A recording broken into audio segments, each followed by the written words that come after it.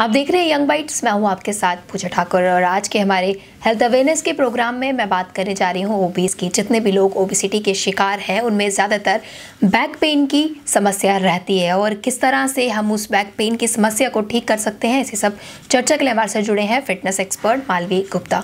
मालवी आपका स्वागत है यंग बाइट्स में। थैंक यू मालवी जिस तरह से हम हर बार कुछ ना कुछ नए इशू पर बात करते हैं ये भी एक बर्निंग इशू है। जितने भी ओबीज हैं उनमें बैक पेन की समस्या रहती है। क्या आज आप हमें योगासना बताने जाएँगे यार? उससे पहले हम बात करेंगे कि ये समस्या क्यों रहती है। ओबिसिटी जैसे कि बहुत लोगों में देखी जा रही है और ओबिसिटी का मतलब ही मोटापा है। अगर मोटापा होगा तो आपको चलने, उठने, बैठने में भी दिक्कत हो सकती है। और उस दिक्कत में क्या होता है, कई लोग चलना छोड़ देते हैं कि उनको बैक एक बहुत ज़्यादा शुरू हो जाती है और उनके लिए चलना डिफ़िकल्ट हो जाता है बिकॉज़ वो उस दर्द को, उस पीड़ा को बर्दाश्त नहीं कर सकते। तो ये बहुत ज़रूरी है। अगर आप ही ओबिसिटी के पेशेंट हैं या अगर आपको बहुत ज़्यादा लगता है कि फ़ैट आप में बहुत ज़्यादा है। फ़ैट परसेंटेज कम करने के लिए आपको सबसे पहले ये चीज़ ध्यान रखनी है खाने पीने के साथ कि आपकी कमर में दर्द तो नहीं है और अगर आपको लगता है आपके बैक में पेन है आपको और उस बैक पेन से जो जो भी आप एक्सरसाइज वर्कआउट रूटीन करते हैं उसके साथ योगा के कुछ आसनास मैं ऐसे बताऊँगी जिसको आफ्टर वर्कआउट या फिर आफ्टर वॉक मॉर्निंग और इवनिंग वॉक के बाद आप ज़रूर करिए और धीरे धीरे जो आपका बैक का फैट है वो भी कम होने लगेगा और कहीं ना कहीं आपका पेट बेली फैट जो है वो भी कम होने तो लगेगा। तो जितने भी लोग ओबीज हैं मुझे लगता है कहीं ना कहीं हैवी वर्कआउट तो वो कर नहीं सकते। कुछ ऐसे योग आसना आज हमें बताइए जो वो बैठे बिठाई कर सकते हैं उनकी बैक एक ठीक हो सकती है। जी हाँ मैं ऐसे कुछ आसनास बताती हूँ, और ऐसा नहीं है कि ओबीस जो है, वो हैवी लिफ्टिंग नहीं कर सकते, वो कर सकते हैं बट ये बहुत ज़रूरी है कि आपके आपके अंदर फ्लेक्सिबिलिटी ज़रूर हो बिकॉज़ अगर फ्लेक्सिबिलिटी होती है तो आपको वो मोटापा का ज़्यादा दिक्कत नहीं देगा, क्योंकि क्या होता है, जब इंसान मोटा होता है तो उसकी बॉडी में इतनी फ्लेक्सिबिलिटी नहीं होती है कि वो पीछे मुड़ मुड़ भी पाए, और इतनी ज़्यादा स्टिफनेस आ जाती है और उसको प्रॉब्लम ज़्यादा होने शुरू हो जाती है।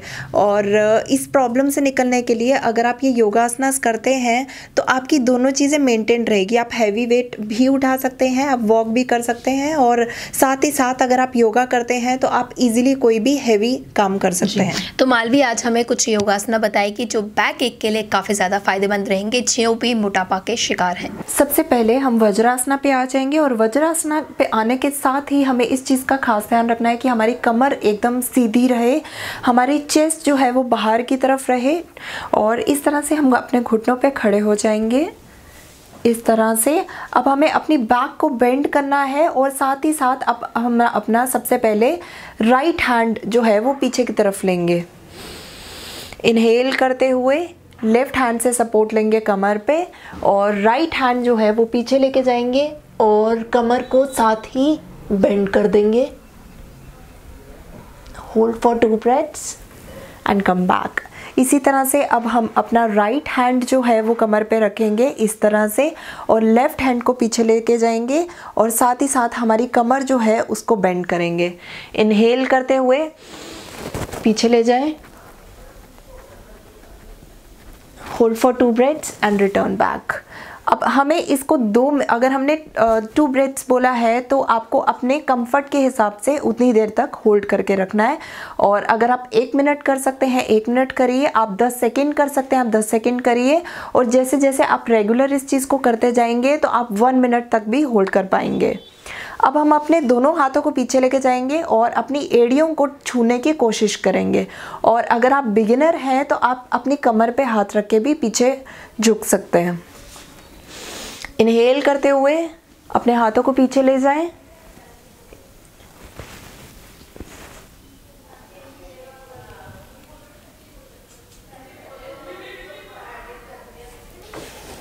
एक्सहेल वापस और अपनी पोजीशन पे वापस बैठ जाएँगे। नेक्स्ट आसना के लिए हम अपने योगा मैट पर लेट जाएँगे और अपने हाथों को अपने गाल पे रखेंगे इस तरह से। और जिस तरह से बच्चे इस तरह से शैतानियाँ करते हैं उसी तरह से हम इस अपने लेग्स की मूवमेंट करेंगे। सो so, इनहेल करते हुए। इसे छोटे बड़े बूढ़े सब कर सकते हैं इजीली कहीं भी बैठे हुए।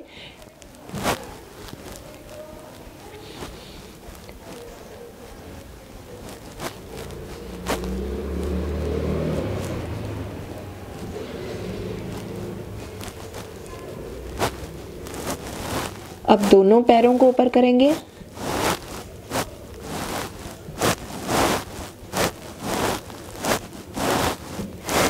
भी 40 से 45 बार करेंगे। बट अगर आपको लगता है आप इतना नहीं कर पा रहे तो हम 20 20 के सेट्स बना के भी कर सकते हैं।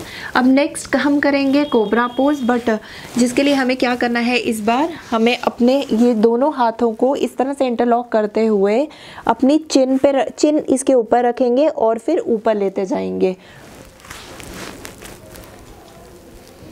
इनहेल करते हुए आपका अपर टोसो पीछे की तरफ़, हमारी कमर पे बहुत ज़्यादा प्रभाव पड़ रहा है और उसका अनुभव आपको करना है होल्ड करिए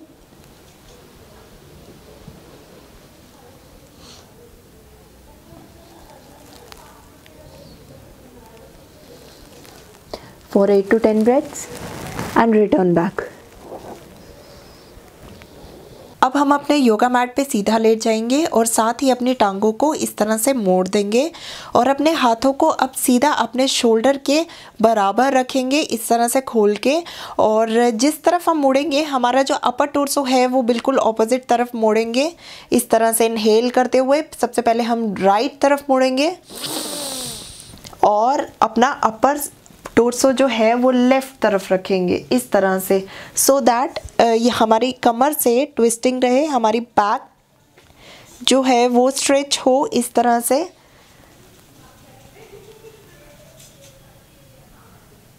होल्ड करेंगे five to ten breaths and then दूसरी तरफ़।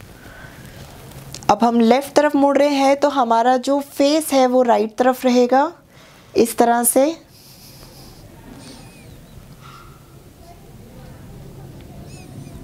एंड देन वापस। तो मालवी जिस तरह से आपने हमें ये कुछ योगासन बताए हैं, जो कि बैक एक के लिए काफ़ी ज़्यादा बेनिफिशियल है, जितने भी ओबिसिटी के लोग हैं, मुझे बताइए कि ये ओबीज की प्रॉब्लम जो है उसे भी ठीक कर सकती है। जो जिस तरह से आपने योगासना बताया आपने बताया कि काफ़ी ज़्यादा फ़ायदेमंद है। क्या क्या फ़ायदे इस योगासना से और भी हो सकते हैं बैक एक को ठीक करने के अलावा? इससे सिर्फ़ ओबीज पेशेंट ही नहीं निकल सकता है। जिसको डिस्क की प्रॉब्लम है उसकी वो प्रॉब्लम भी ठीक होगी और जिसको मोटापा है वो भी कहीं ना कहीं ठीक होगा। या फिर किसी भी तरह की ओवरऑल आपको तकलीफ़ है वो तकलीफ़ से भी आपको छुटकारा मिलेगा। तो मालवी सब में हमें खाने पीने में क्या कुछ चीज़ों का ध्यान रखना चाहिए कि हमें बैक एक भी ना हो और हमारी ओबिसिटी की समस्या भी ठीक हो। हमें अपनी प्रोटीन इनटेक है, वो ज़्यादा रखना है। इसमें दूध से बनी चीज़ें जैसे दही दूध हो गया, पनीर हो गया, इन चीज़ों को अवॉइड करना है। अगर आपको लगता है आप ओबीस ओबीस हैं या फिर आप पतले होना चाहते हैं तो आपको दूध से बनी चीज़ों को अवॉइड करना है। और तीसरा कि हमें ल्यूकवम वाटर मतलब नॉर्मल जो पानी होता है वो हल्का सा ठंडा होगा। और अभी वैसे भी सर्दियाँ हैं तो कोशिश करिए कि ल्यूकवम वाटर मतलब पानी थोड़ा सा गर्म ही पीजिए जितनी बार भी पीना है वो कहीं ना कहीं आपको हेल्प ज़रूर करेगा। जी। तो मालवी आज के हमारे इस प्रोग्राम में क्या एक मैसेज आप सभी के लिए देना चाहेंगे? आ, कि आ, एक्सरसाइज ज़रूर करिए वॉक ज़रूर करिए और हेल्दी खाना खाइए। ग्रीन लिफी वेजिटेबल्स कहा जाता है खाने के लिए और ये ज़रूरी नहीं है कि आप रोटी चावल ज़रूर खाइए लेकिन आप जितना ग्रीन लिफी वेजिटेबल्स फ्रूट्स लेते हैं नेचुरल चीज़ें लेते हैं उनका उपयोग करते हैं तो आपको कहीं ना कहीं फिट होना शुरू हो जाएँगे और आपको किसी तरह की कोई दिक्कत नहीं होएगी। बहुत बहुत धन्यवाद। तो उम्मीद करती हूँ आज के प्रोग्राम की हमारी ये कोशिश आपके लिए काफ़ी हेल्पफुल रहेगी। अगले हफ़्ते फिर नए इशू पर बात करेंगे, तब तक के लिए आप देखते रहे young bites video journalist Abhishek Badu के साथ। मैं पूजा ठाकुर यंग बाइट्स जम्मू।